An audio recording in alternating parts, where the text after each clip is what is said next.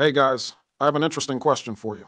Well, let's hear it. Okay, let's say I give Donald $500 and I give Joe $1,000. Bro, what the hell, man? Why are you giving Sleepy Joe so much more money than me? Sounds good to me. Okay, okay, guys, cut it out. It's not real. It's a thought experiment. Let's say Joe starts with $1,000 and Donald starts with 500. I flip a coin. If it's heads, Joe gives Donald a dollar. If it's tails, Donald gives Joe a dollar.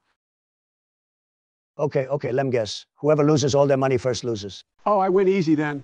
How many times have you declared bankruptcy again? All right, all right. Yes, the game ends when one of you runs out of money. The question is, what's the probability that Joe wins? Wait, so this is just pure luck, right? Like 50 50? No, Sleepy Joe, wake up. You are more likely to win because Barack rigged it. You just have more money than me. That's right, Joe is more likely to win. But what's the probability? Ah, my brain is hurting thinking about it. Will the game even end? Okay, don't worry. A trick for these kinds of problems is to make it simpler. Let's say it's just $1 and $2. Keeping the same proportion? Okay, that's simpler. Wait a minute. If flip is tails, Donnie loses immediately. Yeah, that's why it's rigged. But also, if the flip is heads, then the tables have turned. I have $2 and you have one. Now, hold on, that's interesting. Let's say the probability of Donnie losing, aka Joe winning, is P. Then the probability Joe loses is 1 minus P. Okay, yeah. Then we can break down Donnie's probability of losing, P. Half the time he just loses immediately, so we can write 1 half times 1. The other half of the time the situation gets reversed. So he gets Joe's probability of losing, which is 1 minus P. So we can write this equation.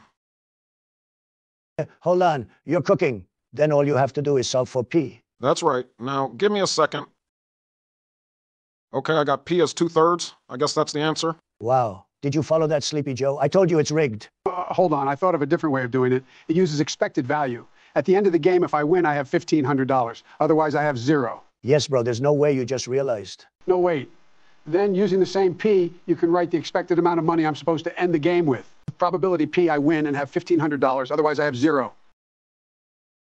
Okay, sure. Wait, that's just P times 1500 then. Exactly. Except since we are assuming it's a fair coin, I am equally likely to lose or gain a dollar with each coin flip. Therefore, my expected money should not change. Yo, that's crazy. So E should be 1,000, the amount you started with. Then you can set them equal and solve for P. Yeah, and you get the same answer, two thirds. Isn't that cool? Okay, that's kind of cool. I didn't know Sleepy Joe could do all that. You're just mad that you lose the game. You're right. I demand a recount. Stop the count. There's literally no voting involved, man.